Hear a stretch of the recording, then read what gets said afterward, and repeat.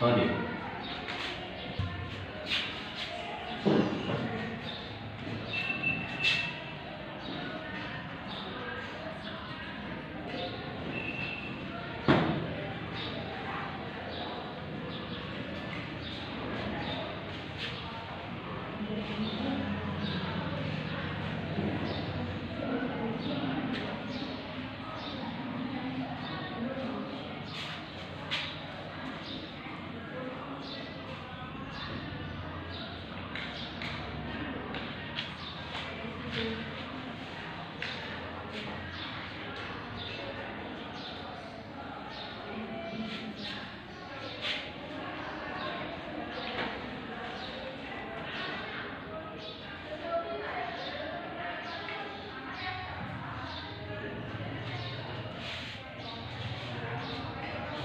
যে শক্তির প্রভাবে পরস- পরমাণু সমূহ পরস্পর যুক্ত থাকে তাকে রাসায়নিক বন্ধন বলে।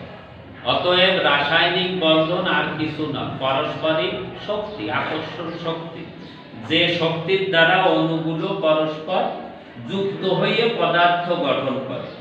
এইবার বলো। হ্যাঁ? এইটি হ্যাঁ না।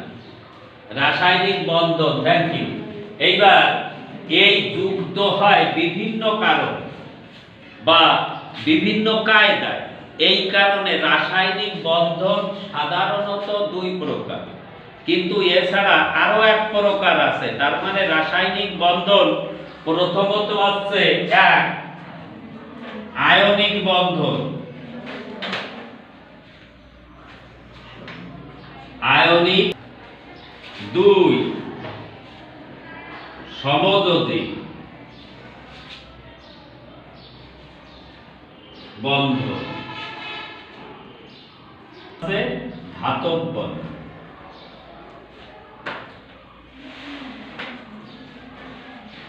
এইবার আয়নিক বন্ধন কি? এর আগে আমাদের জানতে হবে আয়ন কি। কেউ বলতে পারবা আয়ন কি?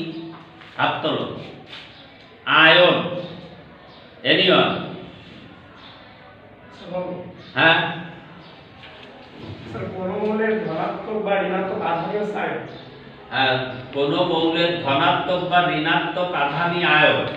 তুমি বলিস সঠিক আধান থাকতে হবে কিন্তু মৌলের ধনাত্মক বা ঋণাত্মক আয়ন একই মৌলে কি হয়? না বলছি মৌলের ধনাত্মক আর ঋণাত্মক কি একই মৌলের আধান হয়?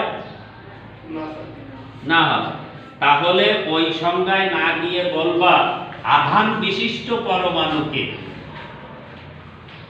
কথাটা বোঝা গেছে, ধনাত্মক, ঋণাত্মক বলতে গেলে ওই রকম কথা পেঁচায় যাবে এই জন্যই তুমি বলবা যে আধান বিশিষ্ট পরমাণুকে আয়ন বলে। থ্যাংক ইউ বসো।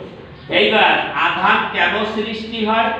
হয় ইলেকট্রন ত্যাগ করার ফলে অথবা ইলেকট্রন গ্রহণ করার ফলে। তার মানে অণুতে যতগুলো মানে পরমাণুতে যতগুলো প্রোটন থাকে। কথা বুঝেছ? মনে করো যে তোমার অক্সিজেন এর কেন্দ্রে কয়টা পরমাণু আছে? কেউ বলতে পারবা? অক্সিজেনের কেন্দ্রে কতটি পরমাণু সরি কতটি প্রোটন আছে? আমি বলতে ভুল বলেছি, কতটি প্রোটন আছে? আটটি। এইবার তার আধার কি?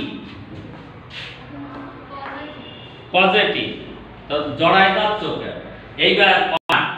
অতএব এর কেন্দ্রে আছে আটটি প্রোটন। প্রোটন যা চার্জ